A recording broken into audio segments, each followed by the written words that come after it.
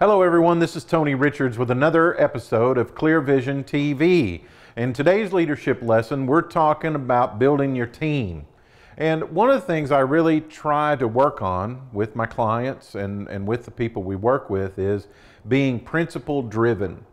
Uh, it, most times, not every time, there's an exception to every rule, but most times, if you can find out a principle that drives a result, you can achieve the same amount of success as another person as long as you apply the same principle. And so, one of the principles is that who you surround yourself with is your most important decision. Who you surround yourself with is your most important decision. It's important who you date. It's important who you marry. It's important who your friends are because no one gets to a destination of success by themselves.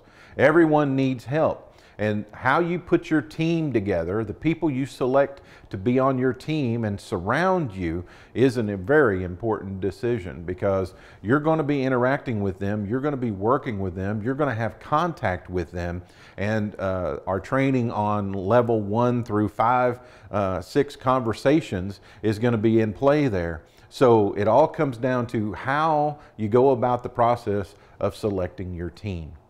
Uh, go to our website. We've got more resources there for you and for your learning. We have more episodes of Clear Vision TV, more of our blog writings, and more information on how you can sign up for our Leadership University, Clear Vision U, at www.clearvisiondevelopment.com. I'll see you next time on Clear Vision TV. This is Tony Richards.